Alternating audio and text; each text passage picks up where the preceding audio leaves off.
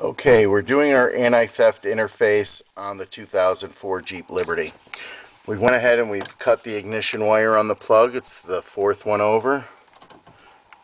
Okay, you got to be conscious of um, these connections. You don't want to get them backwards. It won't work. You want to have the pink and the white with red on the vehicle side of the cut. The white with black on the plug side of the cut. The orange to the J1850 and then your analog lock wire is over here at the BCM, the top harness, the one with the tap on it. It is pink with violet.